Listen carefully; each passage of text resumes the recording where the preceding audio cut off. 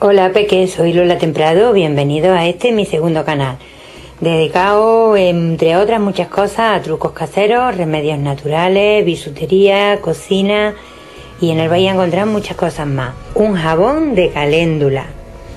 La caléndula es una planta, yo la compro seca y salen con unas propiedades magníficas. Por ejemplo, para el pelo seco, para la piel seca, repara y nutre.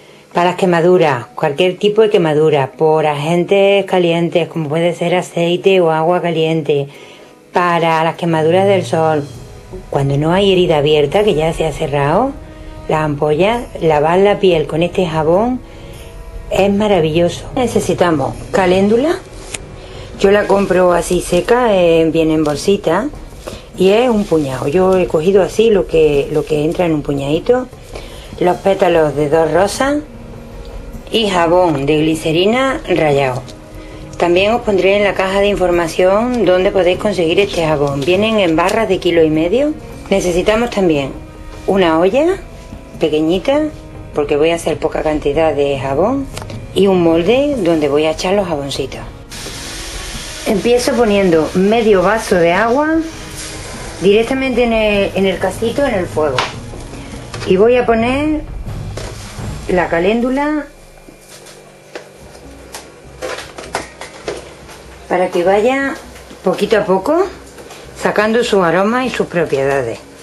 En cuando empieza a hervir se le baja el fuego y lo voy a tener un ratito, pero muy poquito, muy poquito, porque no quiero que ese juguito que hay ahí abajo se pierda, se evapore. Lo voy a tener así a fuego lento, lento, está puesto al 4 sobre 9, eh, unos 5 minutos y entonces le añadiré el jabón. Pasado ese tiempo, lo he quitado del fuego, veis que queda ahí el caldito de haber estado cociendo y ahora pongo la otra olla al fuego fuerte para poner esto al baño María. Y le voy a añadir el jabón. Este jabón es buenísimo como he dicho antes, porque además es, glicerina, no lleva ningún tipo de químico y es perfecto para las pieles delicadas. Ahora voy a dejar que el jabón se me deshaga en cuanto el agua de abajo se caliente. Veis que ya está empezando a derretirse. Os dejaré el enlace también del jabón de cacao, que eso es un regalo absoluto para la piel es magnífico. Una vez que ya el jabón se ha deshecho y lo de abajo está ya bien caliente, le voy a poner los pétalos de rosa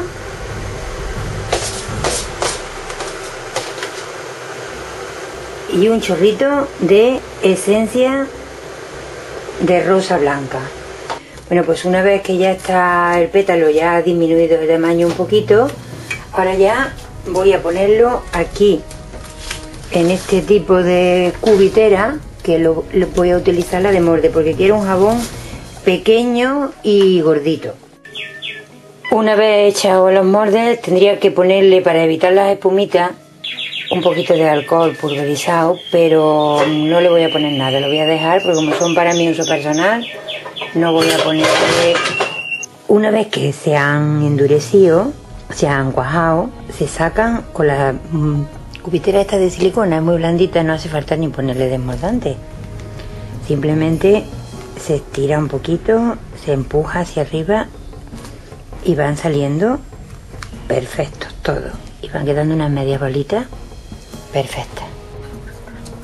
Para que no se nos sequen los jabones y no pierdan esa textura brillante y suavecita que tienen, fijaros que no quedan, no quedan duros, quedan blanditos, blanditos.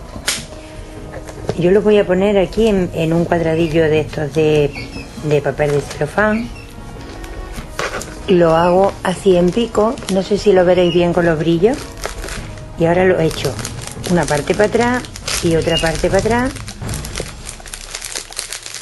Y cierro aquí. Por lo que queda cerradito al aire, no le entra nada del exterior y se van a mantener húmedos y con todo el aroma que tienen, que por cierto es magnífico. La caléndula no huele mucho, pero como le hemos añadido los pétalos de rosa y la esencia de rosa blanca, la que da un olor fantástico. Aquí está ya la canastilla terminada. Fijaros qué regalo, qué pedazo de regalo tenéis preparado ya para las navidades. Una cesta de trapillo llena de jabones artesanales, naturales.